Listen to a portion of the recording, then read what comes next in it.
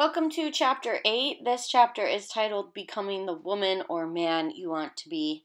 I think it might be more appropriately titled Becoming the Person You Want to Be. But nonetheless, in this uh, chapter, we are going to try to realize the role of socialization in defining gender role identity. We are going to critically evaluate traditional notions of being a male or female. We're going to challenge stereotypes and appreciate the role of choice in defining yourself. We're going to consider alternative gender role models and become aware of how gender roles impact relationships. So, as we go through this chapter, it's important that you ask yourself how gender roles and gender norms in our society have shaped your behaviors, thoughts, and feelings, not only about yourself, but about others. Let's begin by defining gender. Gender is the state of being female or male. It's helpful to think of gender as being on a continuum rather than being into boxes um, like male and female, but instead a continuum where you have masculinity at one end and femininity at the other end, and then we can recognize that people fall in different locations within that continuum. So, gender is something learned, developed, and constructed based on our self concept, our society, and the culture in which we live. It's also possible that it's dependent on genetic and or biological factors. Uh, research is still investigating how we develop our gender, and there's evidence that it is a combination of nature and nurture. Um, gender identity is defined as a subjective feeling of femaleness or maleness, which most often is consistent with one's biological sex, but of course not always. And our gender identity really develops by about age four, and it's a fundamental component to our overall identity the way we see ourselves, the way we behave, the way that we think, and the way that we feel. And so, part of the way in which we develop our gender identity is based on how our uh, society conditions us, which we can refer to as gender role socialization. So, this is the process of learning those behaviors, like the norms and roles, that are expected of people in a particular society. Our socialization in general happens before we are even born. Um, we, our parents already pick out names for us, or start buying clothes for us, or decorate our nursery, and all of these can relate to um, the gender identity that they think we should have based on uh, our biological sex. And then this gender role socialization continues through life via our parents, our peers, our teachers, and the media. Um, one of the reasons that people kind of conform to this gender role socialization is because knowing someone's gender makes us feel like we can better predict their behavior, and that gives us the illusion of control within our environment. Um, so some of the different ways that we develop our gender role, as already mentioned, is through our parents. Um, and one thing that we know from research is that parents describe their babies differently based on sex. They def- uh, describe their female babies as being soft, pretty, and small, and their boy infants are described as being big and strong and determined. So, children are directed into these gender appropriate behaviors and often directed away from things not considered gender appropriate. Um, in terms of toys, we'll see that girls are given dolls and boys are given trucks. In terms of bedroom colors, we'll see that girls' rooms are painted pink and purple and boys' rooms are painted blue and green.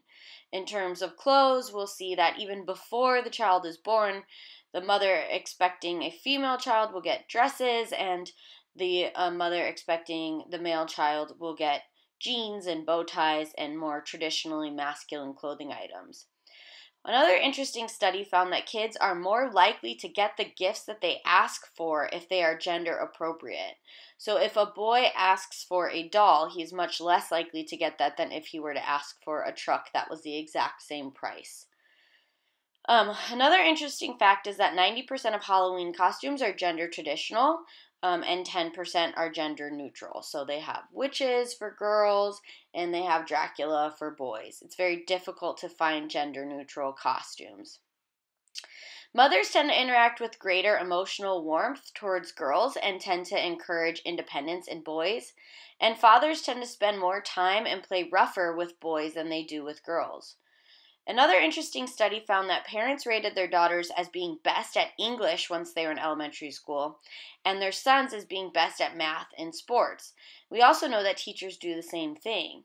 However, when we study this, we usually find that all children are actually performing equally well in these areas. Another way in which we are socialized uh, to fit a particular gender role is by our peers. By the time we're five, our peers have more influence over us than our parents. And research shows that children who do not conform to the same gender play as their same sex friends are often rejected. So, if all the girls are playing house and uh, you don't want to play house, um, but you'd rather play soccer, then you tend to be rejected. Boys learn controlling tactics from peers. They use commands, threats, and physical strength to gain compliance from their peers, where females learn what psychologists call obliging strategies, polite requests, and subtle verbal requests to gain compliance. Another way in which we're socialized is by our teachers. Teachers often report being gender blind, but unknowingly they engage in gender biases all the time. In fact, they tend to give more uh, attention to boys and they give more time to boys. Um, in problem solving, teachers are more likely to give a girl the answer but encourage a boy to keep working on it. And then we have the media. Um, and television has assumed a very powerful place in the socialization of, of children. It's as significant as family and peers. In fact, one study found the more TV watched, the more typical gender stereotypes a person will develop. So let's watch a video clip on gender role socialization.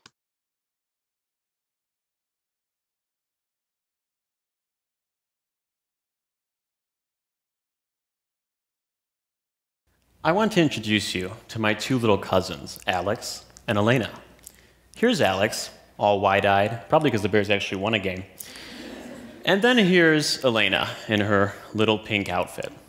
Now, the outfits help because it's some kind, sometimes hard to determine which one's which because they look so similar. But this is where our gender communication to children begins. Now, imagine for a moment Recall a time when you or maybe someone you know told a young boy to stop crying or to suck it up, or encouraged a young girl to play with Barbies instead of a toy truck. From the beginning, we set an either or path for our children, a one or another when it comes to cl clothes, toys, or actions. It either is or isn't okay to cry. You either play with Hot Wheels or you play with Barbies. We use gender as a way to construct our children's reality. Now, the work of a communication scholar, James Carey, tells us that communication is a symbolic process whereby our realities are produced, maintained, repaired, and transformed. Now, I'm not here to say that the communication we're having with our children is invaluable, nor am I even here to paint the world yellow. But what I am here to do is encourage a breakaway from that gender dichotomy. By communicating what we believe is appropriate language, clothes, attire, actions to our children. We're giving a symbolic message as to what it means to be a man and a woman. Our communication produces it. Our rein reinforcement of that communication maintains it, and yet, by changing the way we speak and act, we can transform it communicating macho manhood to young boys and communicating submissiveness to young girls just won't cut it. We, by communicating that, are really sending strong signs to our young boys and young girls as to what it means to be a man and a woman.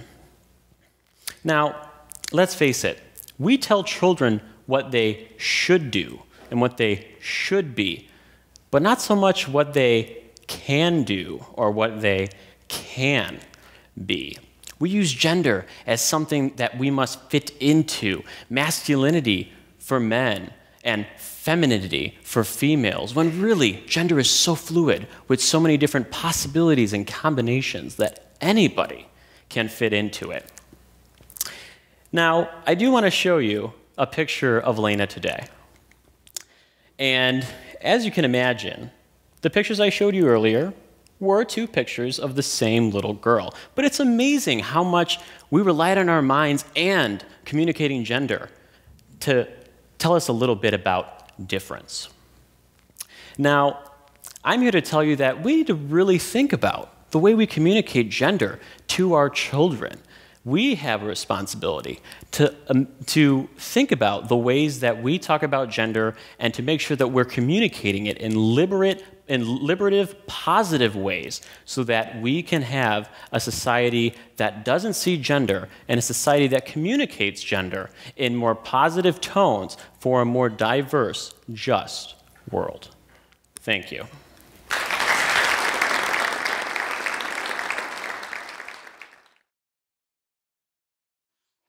Sexism is defined as a bias against people on the basis of their gender, and it doesn't just affect us in childhood, but it actually affects us our whole lives. The most common form of sexism is women being discriminated against men, but of course, men can also be discriminated against by women, and then there's discrimination within genders as well. So, there's something called the gender similarity hypothesis, and it's actually a research that shows that men and women are significantly more similar than different on almost all psychological factors. For example, women are allowed to cry when they're emotional more often than men, even though there's absolutely no biological trait that makes them different in regards to crying. So let's watch a video now that discusses this gender uh, similarity hypothesis. Outside of the world of stand-up comedy, are men and women really that different? Not according to this new study, which suggests that we're pretty much exactly the same.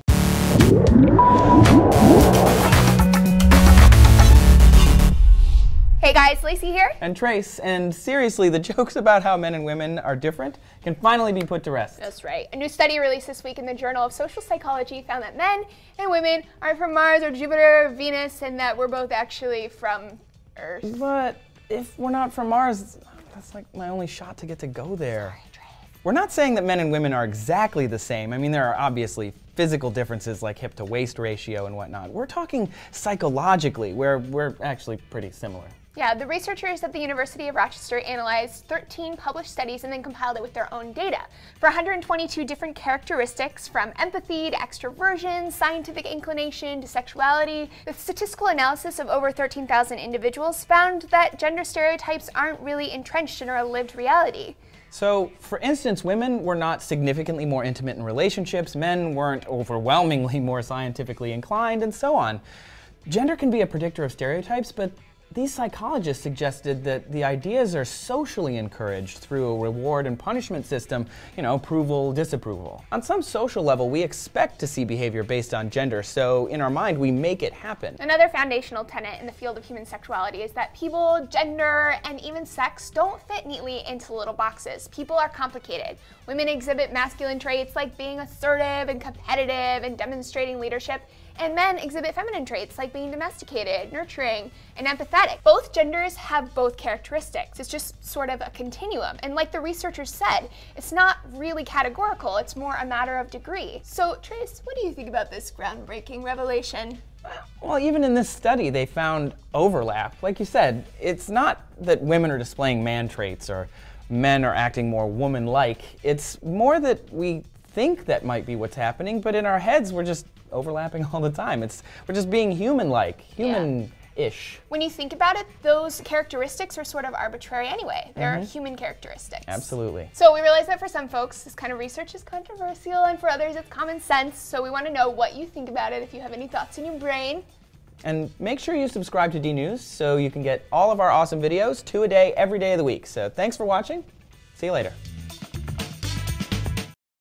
Okay, for lecture activity one for this chapter, chapter eight, I would like for you to tell me uh, two things you learned from the video about ways in which males and females are similar. Um, and then I'd also like for you to tell me one of the ways in which you think males and females are different. So just go ahead and give me a sentence or two on each of those. So, two ways the video discussed uh, how both genders are similar, and then I'd like for you to give me one way in which you think genders are different. So there are also people that identify as what is known as third gender, or in our culture referred to as transgender. So, third genders are common in other cultures uh, like South Asia, Mexico, Thailand, all over the world. And even in other cultures, third genders face issues of discrimination and violence just like American transgenders. So, common areas of discrimination include employment, healthcare, and housing. Many transgenders actually try to suppress their feelings at first, but living a lie eventually becomes too uncomfortable.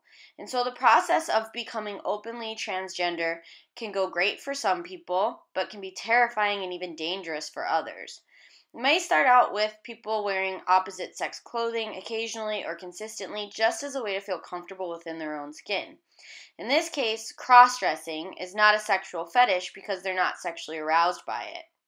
It's just a way to feel like they match their gender. Transitioning with surgeries and hormones is a very long and expensive process, but many people report feeling emotionally and mentally healthier after. In fact, sex assignment surgeries from female to male um, are upwards of $50,000 and take years to complete. Um, and, and in terms of um, sex reassignment surgeries for males to females, it's about $24,000 on average and also takes several years to complete. So, most transgenders uh, try to suppress or hide their transgender identity until they're in their teens or later. In the last 10 years, research of transgender children has actually increased. And what we found is that transgender children have behaviors far beyond just playing with opposite sex toys. They don't like their name, they won't play with sex conforming toys and activities, they get mad when they're called son or daughter. Um, you know, that's opposite of how they identify. They hate the appearance of their genitals and they will say that they are uh, the gender that they identify with, which is opposite of their biological sex. In fact, one, one transgender five year old tucked her penis between her legs and declared to her mom, I'm a girl. While praying, the mom said, God made you a boy for a special reason. And she said, God made a mistake. Research shows that when parents don't allow children to identify with their gender, the kids often become angry, sad, and withdrawn. Uh, many parents facilitate the child's gender identity, and afterwards they say they're happy they did. Once the child hits puberty, it's difficult for them as they develop sex characteristics that don't match their identity. And so doctors can introduce things called puberty blockers, which halt the sex characteristics from developing. Um, but it's not until age 16 that they are e- able to even start considering hormone therapy to begin the transition process. So let's watch a video now on um, the brains of transgender uh, individuals. With the wonderful Laverne Cox rising to fame and Bruce Jenner's groundbreaking interview, transgender issues are finally making it mainstream. So naturally, we're going to science this up.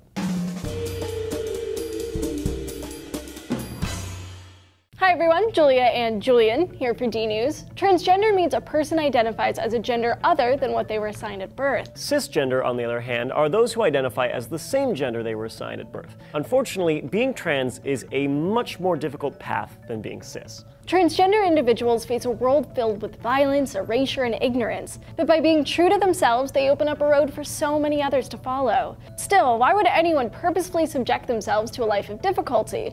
Well, it's not a choice, it's who they are, and science can back that up. One study published in the Journal of Neuroscience identified networks in the brain associated with gender. Using diffusion based magnetic resonance tomography imaging, the researchers looked at the brains of people who are transgender as well as female and male controls. They found microstructures or connections in the brain that differed significantly between the male and female subjects. However, the networks in the brains of those who identified as transgender seemed to take up a middle position. The researchers also found a link between these networks and the amount of testosterone in the bloodstream, suggesting that sex hormones affect how these structures form in the brain, which is supported by earlier research. Right. Some regions of the brain show difference based on gender. In one study published in the Journal of Psychiatric Research, scientists used MRI techniques to scan the brains of 18 people who were assigned female but identify as male, and 24 male and 19 female heterosexual controls. The researchers found that the white matter of female to male individuals who received no hormone therapy more closely resembled brains of the male subjects than the female subjects. Another study by that same research group, also published in the Journal of Psychiatric Research, focused on those who were assigned male at birth but identified female. The researchers used similar techniques as the other study and found that their white matter microstructures fell between the measurements of male and female subjects. One of the authors of the study concluded their brains are not completely masculinized and not completely feminized, but they still feel female. And if it's a matter of brain wiring, a lot of kids would know early, and they do. In one study published in the Graduate Journal of Social Science found that 76% of participants knew they were transgender before they left elementary school. A small study published in the journal Psychological Science found that kids as young as five who identify as trans showed a consistence in gender identity across various measures. I actually saw Laverne Cox speak at an event at Rutgers, and she said exactly the same thing. The researchers asked 32 transgender kids aged 5 to 12 questions about about gender and under the implicit association test to see how kids identify with various things. Using the IAT, the researchers could see how quickly the kids associated gender with the concepts of me and not me. It's a fast test, so they don't have a lot of time to think about it, they just respond. The researchers found that the kids' responses were indistinguishable from their cisgendered peers.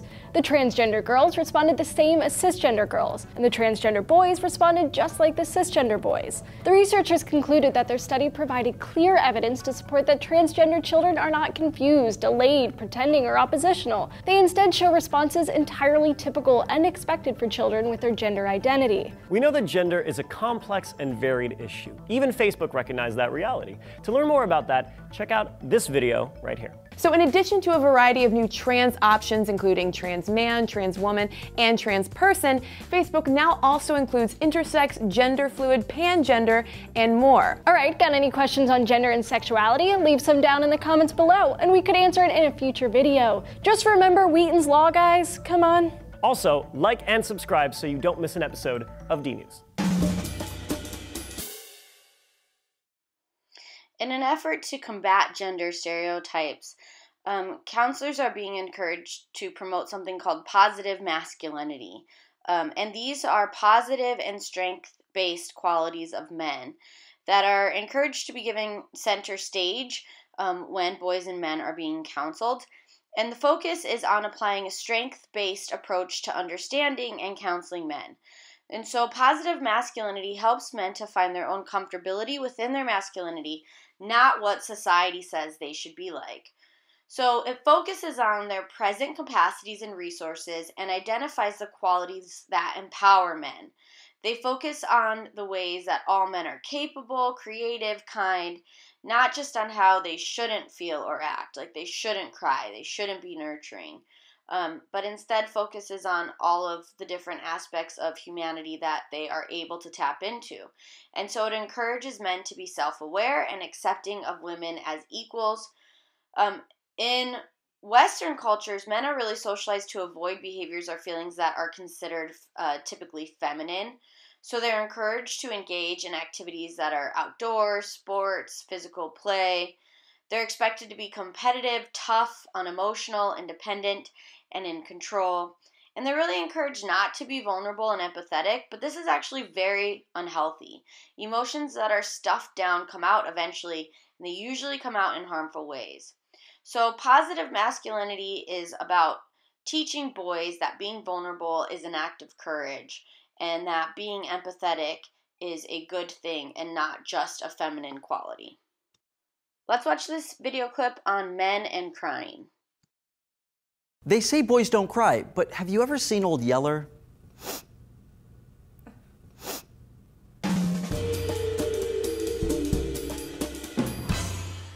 Hey boys and girls, Jules here for D News. Babies cry, children cry, and doves cry. But under no circumstances are boys supposed to cry.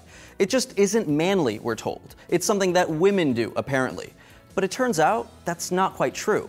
In fact, studies show that from infancy until around age five, boys express their feelings more than girls. A 1999 study by Harvard Medical School and Boston Children's Hospital found that boys were more likely than girls to fuss, ask to be picked up, and most importantly, cry.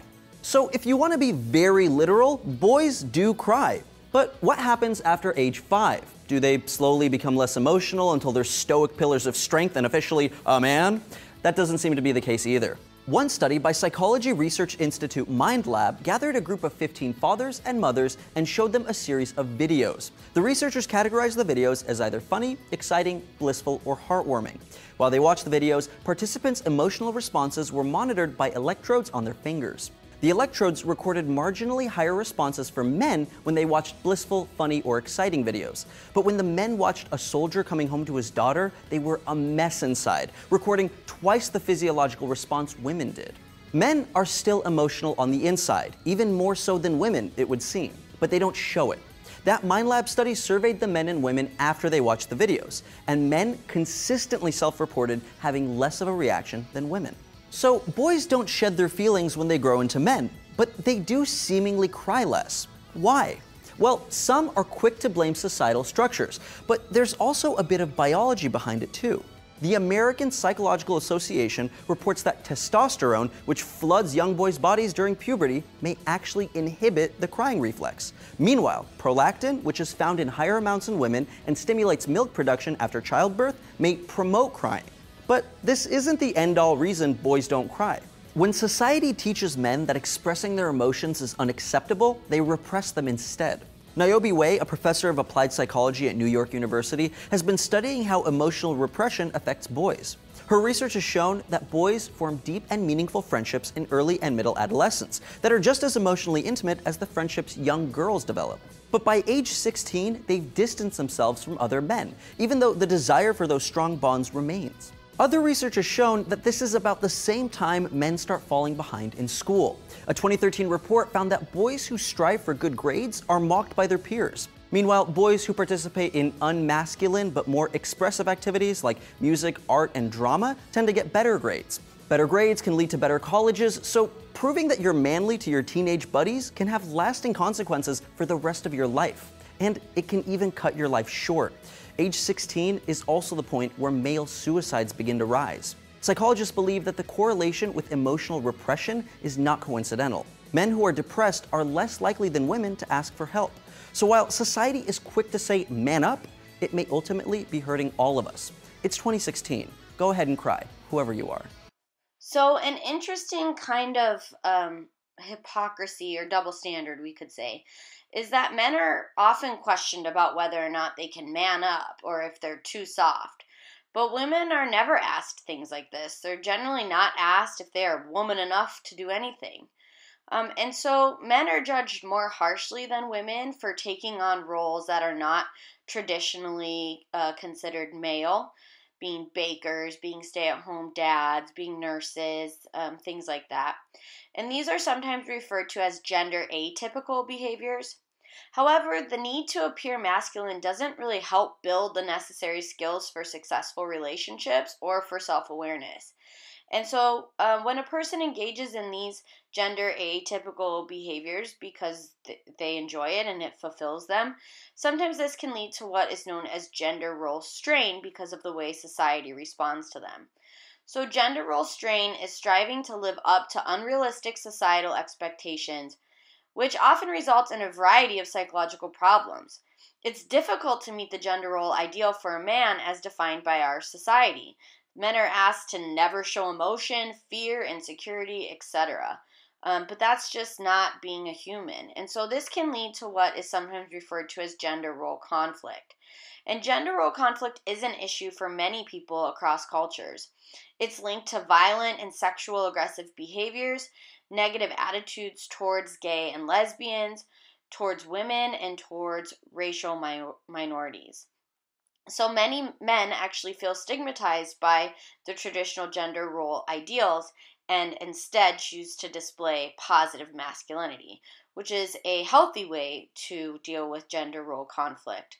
Whereas the previous um, behaviors that I mentioned, sexual aggression, negative attitudes, those are would all be unhealthy ways to deal with the conflict between how you feel inside in terms of your gender and how society expects you to act, especially if there's some dissonance between the two.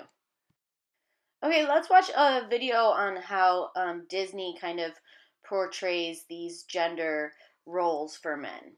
Woohoo! It's Gender Roles Week! Y'all know how much I love gender roles!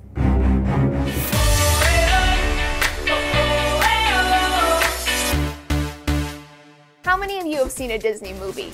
Like a billion of them, right? We're all varying degrees of obsessed. Research has shown us that children incorporate the movies they watch into their play and identity development. It's an active site of socialization, our learning about what's what in the world.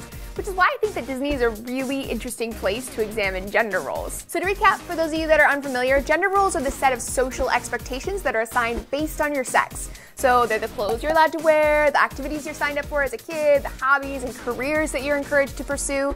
They're also the behaviors that we're punished or rewarded for. Got a vagina? You should be nurturing and sensitive, domesticated, accepting, graceful, and passive. Not too outspoken, alright? You don't want to be a bitch after all. If you have a penis, toughen up, man, don't cry. You should be active, confident, competitive, and maybe a little aggressive to show people who's boss. Now, there are two main problems with gender roles. One, they're forced upon people straight from the womb, and those who don't abide are teased or shamed for it.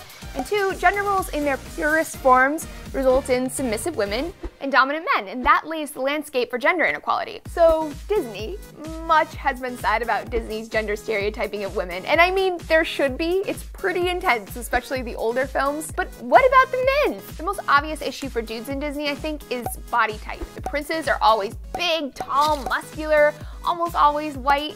Hercules is the prime example, of course, but like, he is a Greek god.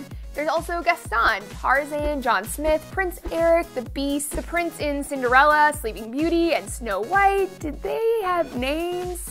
Prince Aladdin is also pretty cut, although for whatever reason he seems a little more evenly portioned to me. Men who aren't tall and muscular are often portrayed as outcast or subservient and weak. Many Disney films climax with a battle between two guys, with the best man winning pride and respect, and usually a woman. Ah, so nice being a trophy. These are some of the subtle indicators that in the perfect Disney fantasy, domination is central to being a real man. Now, men in Disney also find themselves on the opposite side of the damsel in distress issue. While women in Disney films have often been told that they need a man to save them, there's a man that's expected to be the knight in shining armor. It tells men that they should be not only physically strong, but brave, emotionally unwavering, unquestioning in the face of danger, knowing exactly what to do and when to do it, or risk looking like a fool. You don't want to look like a fool on the battlefield, but clearly home is a different issue. Disney men are almost always portrayed as being completely dopey and incompetent when it comes to taking care of themselves and stuff around the house. Good thing they had their domesticated women to act not only as lovers, but as a maid. Disney also caters to a fairly heterocentric worldview. Everyone is straight, and men chase women, always, unrelentingly, only if she's hella beautiful and thin though. As all the Disney dudes are chasing the Disney ladies, we erase LGBT relationships, tell boys that they're supposed to be active romantic pursuers, and tell girls to sit around and wait for a guy to make the first move. Remember Ariel? Girl, if you like someone, it. And the burden of making the first move shouldn't fall squarely on guy's shoulders. Make your own destiny, people. Still, I do think Disney deserves some credit. They're getting so much better. They're both a reflection of our culture and an active creator of it. And I'm optimistic about the future. Just gotta keep putting a little pressure on, keep things moving, you know what I'm saying? Alrighty folks, so this video was part of a collaboration week on gender roles in our daily lives. So check out the links to everyone else's videos down below. And until next time, stay braless.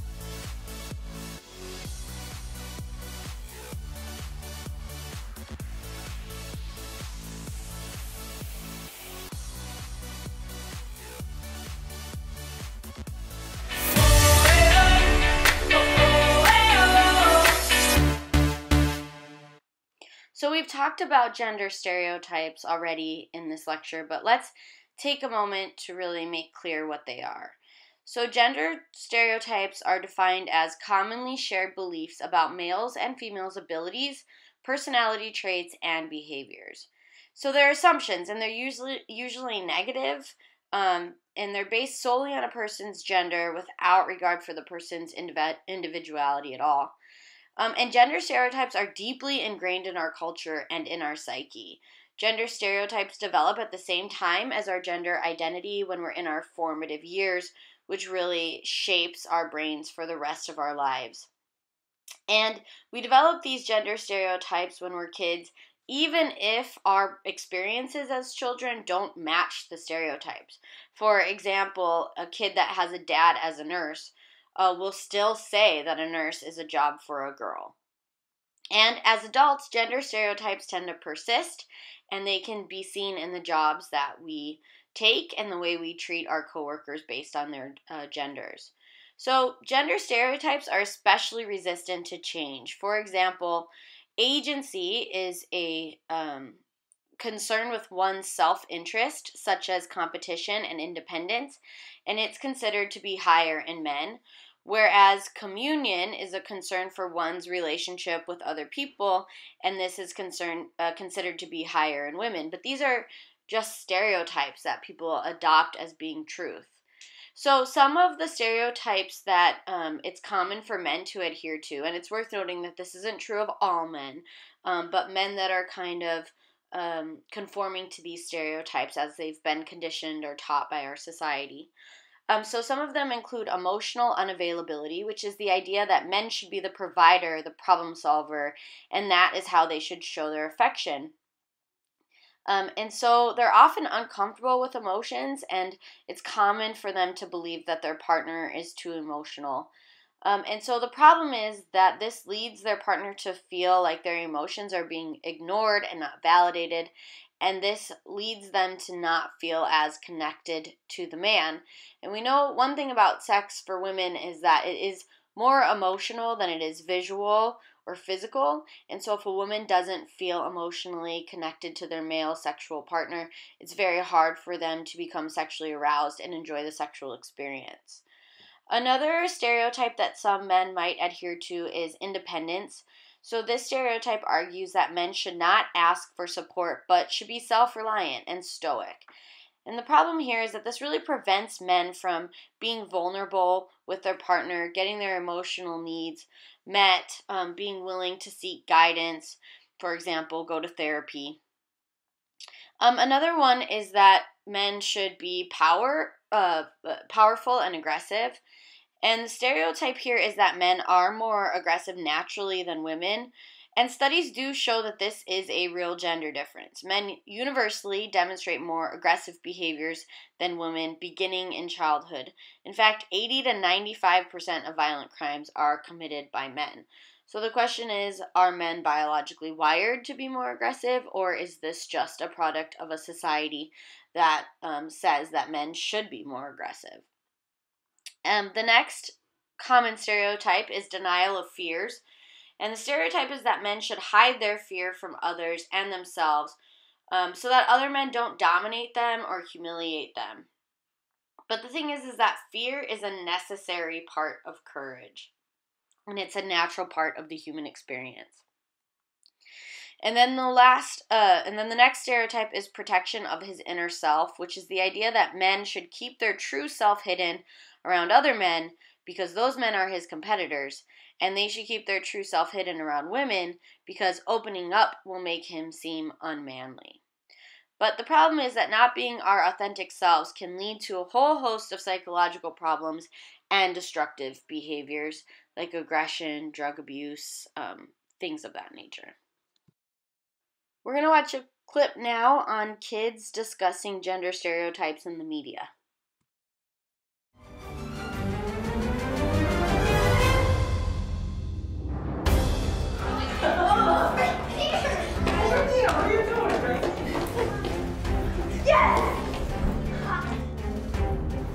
Truck change how people feel about a guy? Which man is sexier? Truck. Truck. Truck. That one has way more sex appeal.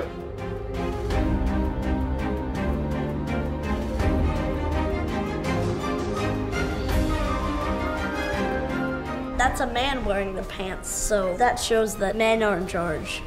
Manly means to not cry, not be a sissy.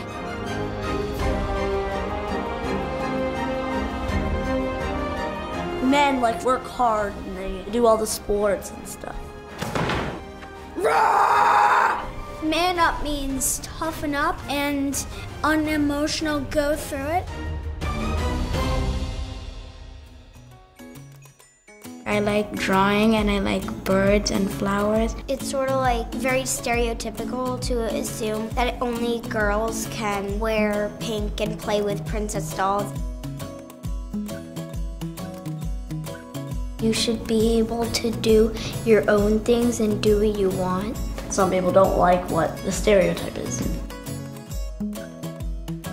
My brother, he's the same size in clothes as my mom. Sometimes he like wears her shoes or like her jacket or something. My uncle is a chef and my dad cooks like all of our food. crafting. I love crafting. Origami sometimes. And I also like to do all those things because that's me. That's who I am. I joined hip hop when it was just one other boy. It was just us and four other girls. I play with girl toys and boy toys. I don't really care which one is meant for boys or for girls. I just play with them. They're toys. If I were to describe the perfect man, the words would be smart, not judgy, and kind, and he likes caring for animals. If you try to go against stereotypes, then you can. When you go your own way, it feels good because you feel free and you can do what you want to do and you don't have to do what other people say.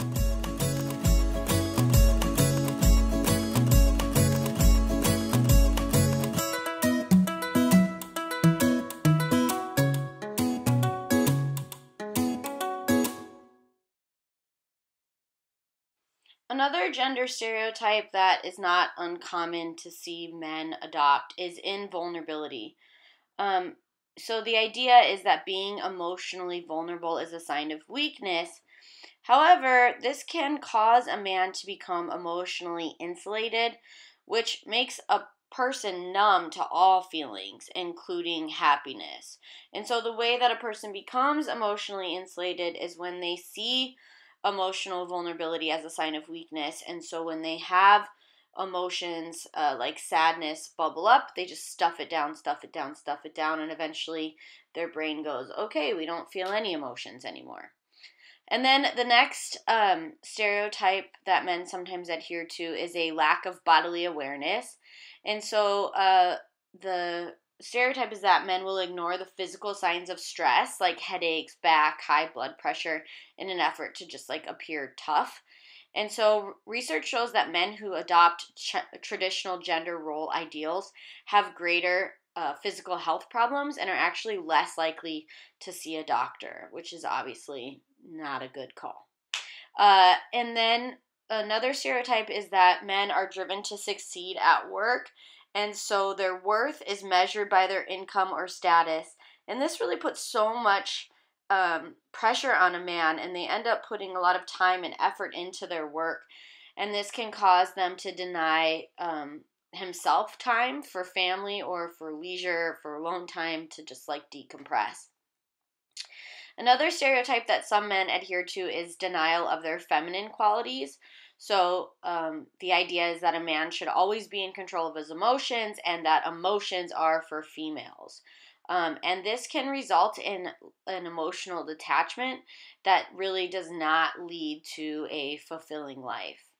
Um, another stereotype is avoidance of physical contact between men. So, some men feel like they should not be affectionate at all with other men and that they should only be affectionate with women if it's going to lead to sex. But the truth is, is that humans need affection, and touch is actually necessary for our survival. Um, men sometimes adopt rigid perceptions, and these perceptions might include that men should be independent, logical, and aggressive, and that women should be passive, nurturing, and dependent. And these rigid perceptions can lead to relationship problems, to discriminatory behaviors, or even to depression. And then uh, finally, some men have a loss of their male spirit and experience depression. Um, and this could be due to the idea that's placed upon men that they should adhere to their gender roles that are defined by society. But this causes a denial of exploration for their true gender identity and can result in self attacking thoughts and shame and guilt so, if a man does develop depression, to recover, he's going to need to confront his emotions and actually challenge some of these gender stereotypes. Okay, so for lecture activity two, I'd like you to consider the gender uh, stereotypes that we've been discussing for males. And if you identify as a male, I'd like for you to tell me two of these gender stereotypes that have affected your life, your behavior, your thoughts, your feelings. So just choose two and then give me two sentences on how you've been affected, how you've adhered to them, how other people have put pressure on you to adhere to them. However you want to approach it is fine. So just give me two sentences on uh, each of them that you choose.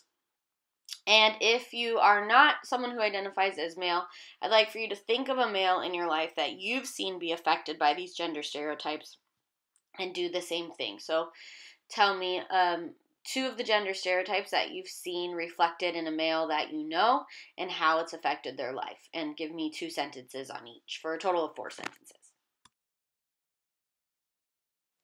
Okay, so let's talk about female roles. Um, and so, one of the things that affects females is uh, how they prioritize their career if they choose to have one. And so women are increasingly considering their career priorities and are challenging the traditional feminine roles in work, in relationships, in parenthood, and in politics. More and more women are actually prioritizing career above marriage. In fact, single women report that they are well adjusted and happy with their lifestyle and that they don't actually think about marriage um, because they're currently focused on their career. We also see that as women kind of become more empowered, perhaps by these careers, more women than ever are leaving abusive relationships. Um, and perhaps that's also due to them not feeling as dependent on a working man when they're a stay at home mom or whatever the case may be. Also, as androgyny gains acceptance, women have more leeway in their struggle for equality, which opens the door to a better quality of life. So they're able to fight for equality in equal pay, and promotions, and in leadership roles, which are still things that are very much affecting women and uh, areas in which women are discriminated against. For example, there is something called pay disparity. And in 1963, the Equal Pay Act passed. But women are still paid less than men and are promoted less than men are. Um, women make 78 cents on the dollar compared with men with the exact same qualifications and education level. In fact, the US ranked 78th out of 145 countries in pay equality. So we are behind many countries. Um, and this inequality, according to psychologists, is heavily in part due to gender stereotypes. Another interesting phenomenon that affects the female role is what's called the second shift. So, the second shift is the idea that despite women working, they are still expected to maintain the family and be responsible for the housework, like the cooking, the cleaning, the laundry. Um, in fact, when other family members participate, they state that they are helping the woman with her responsibility. Um, and so, if you have a dual career family where both mom and dad are working um, equal amounts, so they're both working full time, the second shift is the idea that when dad gets home from work, maybe that's his time to relax, whereas the mom is still expected to do what are traditionally considered um, like a stay at home mom's responsibilities. So, cook the dinner, uh, bathe the kids, do the laundry, um, things of that nature. Another thing that's kind of interesting is that when there is a dissolution of marriage, when people get divorced, if there is a working female, she is usually blamed for the divorce. And um, people will accuse her of putting work before family when men are really not as subjected to this criticism when there is a divorce situation.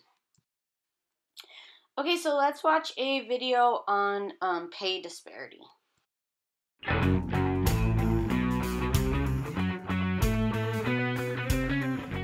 Women today earn on average 78 cents for every dollar men do, and that number has barely budged in over a decade.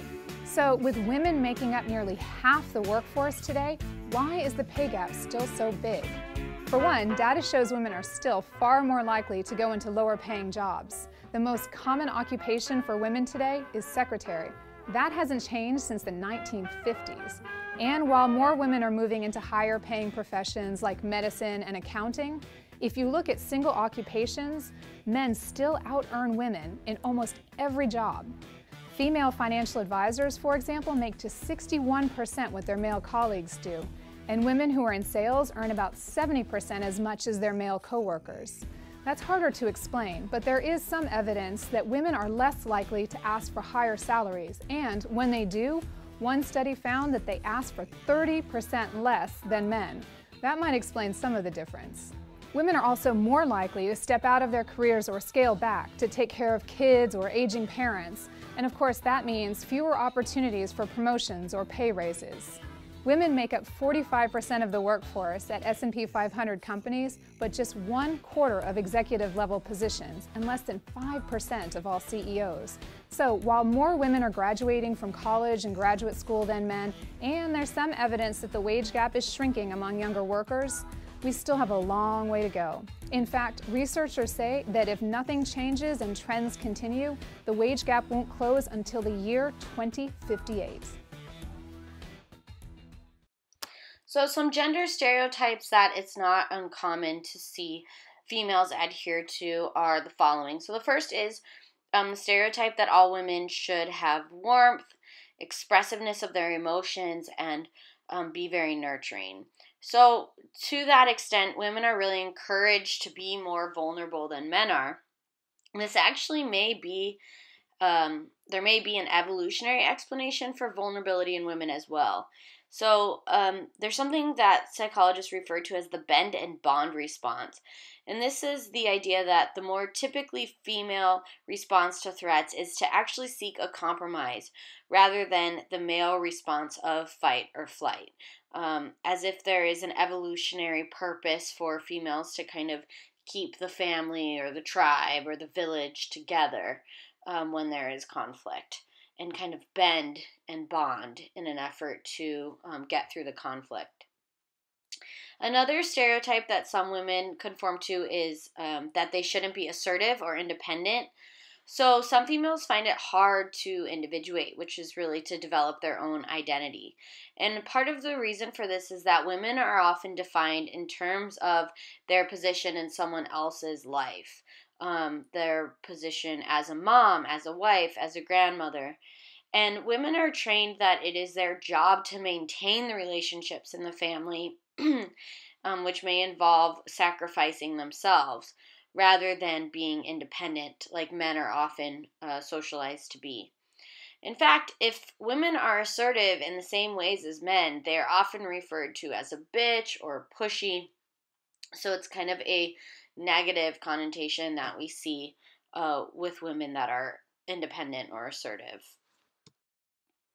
Another stereotype is that women tend to be emotional and intuitive. But research shows that men are just as emotional as women. It's just that societal norms really cater to this stereotype. And so, for example, anger is an emotion, but it's acceptable for men. And men are taught to suppress their other emotions, but that doesn't mean that they don't have them. Um, and so, women are sometimes said to be more intuitive, like a woman's intuition. And the stereotype is that women are better at reading people non-verbally. And studies that have women and men interpret emotions from videos or audio do actually show that women are more accurate at this.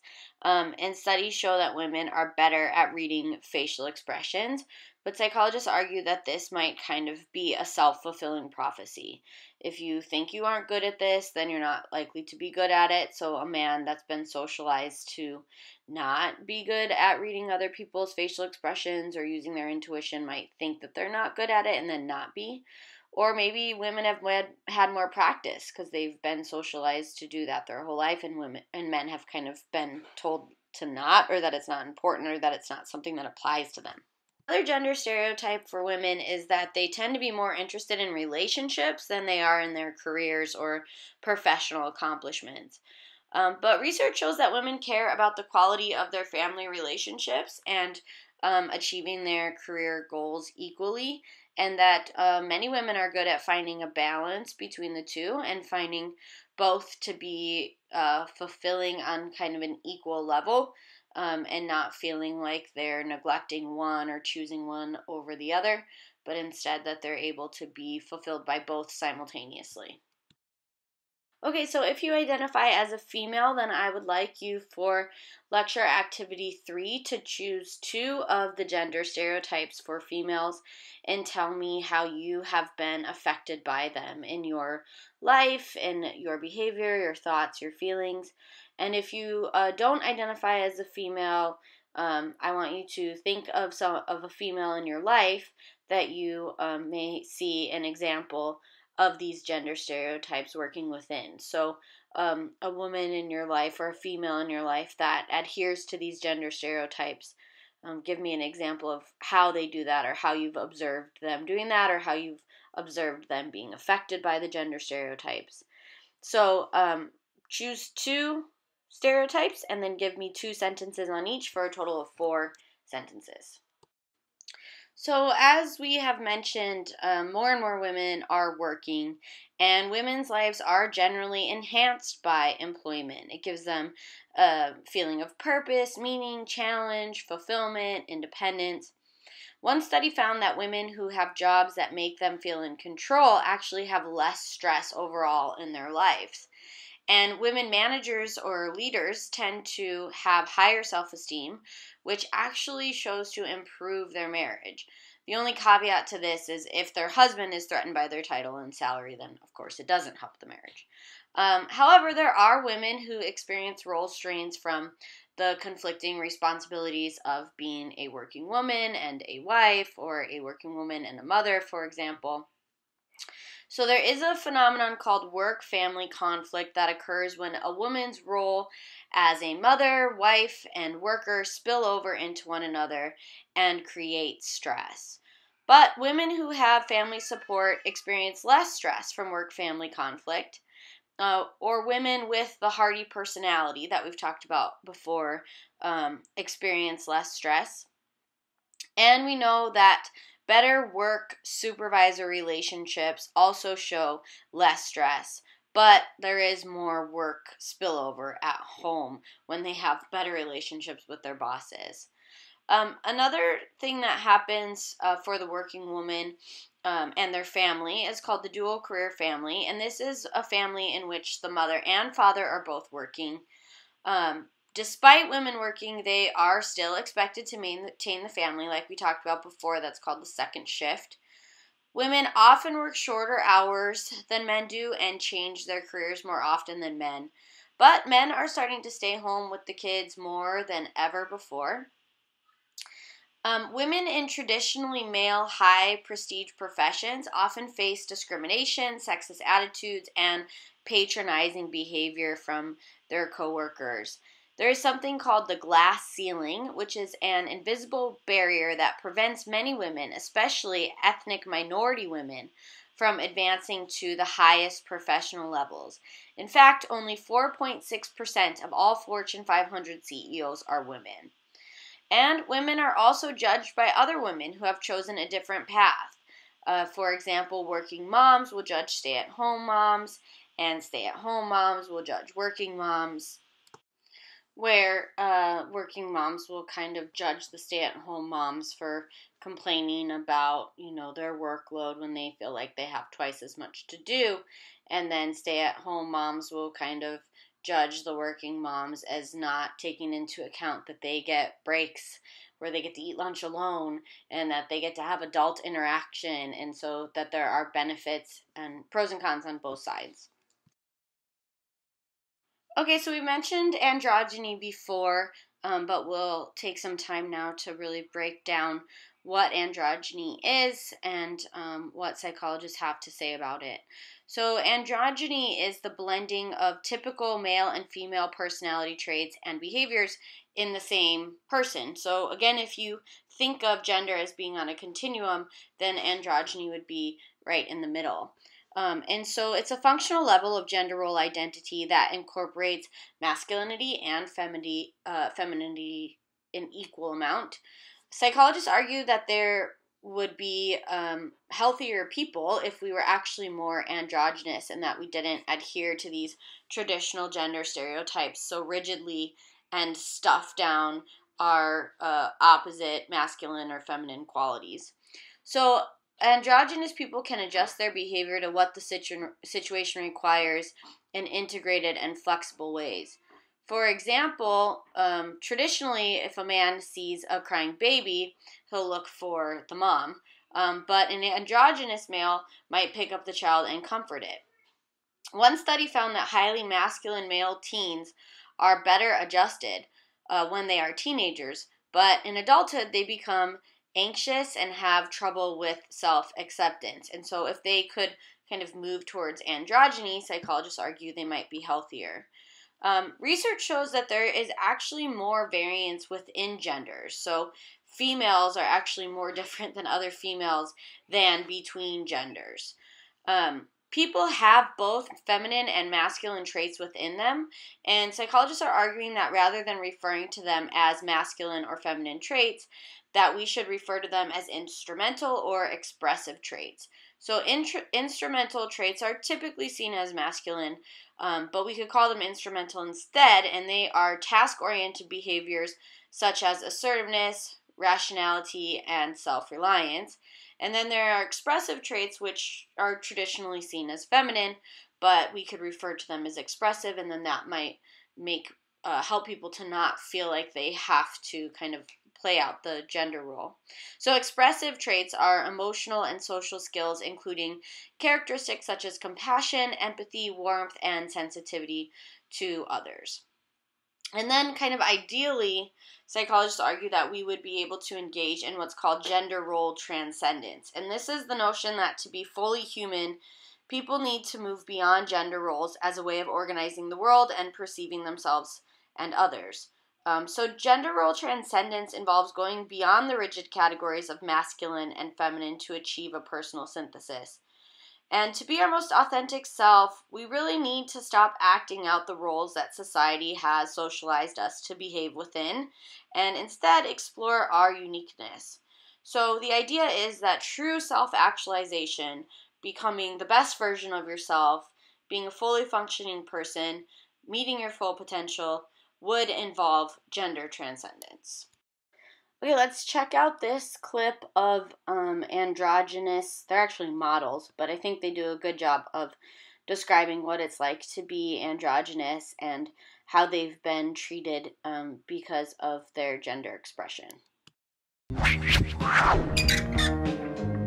all of my life, people, like one of the first things I've gotten so many times is, I don't understand you. I would say that growing up as a tomboy was definitely hard. I got made fun of by boys and girls at school. You know, none of the boys liked me or thought I was cute, and girls didn't, I didn't fit in with girls. I started modeling like skirts and stuff, so I hated that. I stopped from modeling completely from when I was like 16 to I want to say 19. Kind of took a toll on me and my self-confidence, mainly because I wasn't doing stuff that I feel like I was meant to be doing. They have to put a label on it, and I just don't I don't get it. You don't have to be a man to have short hair and wear men's clothing. After high school, when I was living in San Francisco, I met a couple cool friends when I was in theater class, so they were really awesome. It was through these friends that I started to have confidence in myself and liking myself and loving myself. This photographer in LA uh, by the name of Toshka Turnquist reached out to me and she said, your look is so androgynous, that's what you need to capitalize on. So she started photographing me a bit more in an androgynous fashion. For example, she was like, you know, don't wear as much makeup,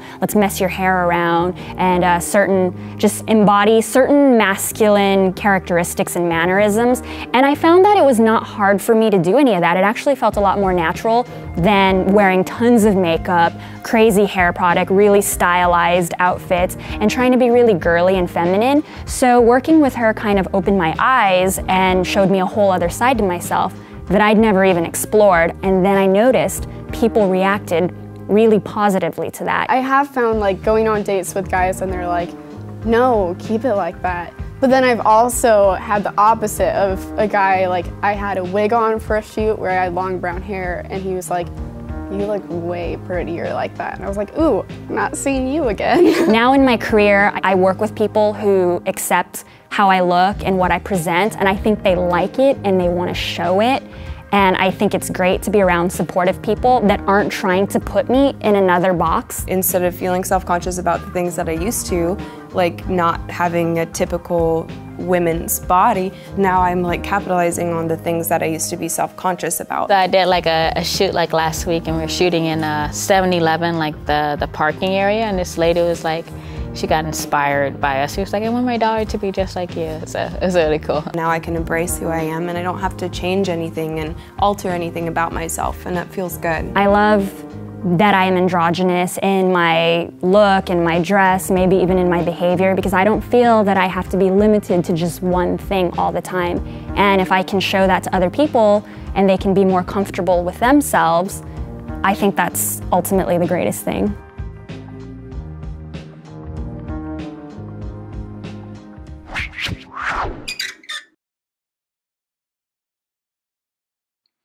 That is it for chapter 8. So please don't forget to submit your lecture activities and also complete all assignments associated with this chapter. And we will see you on the next one. Have a great day.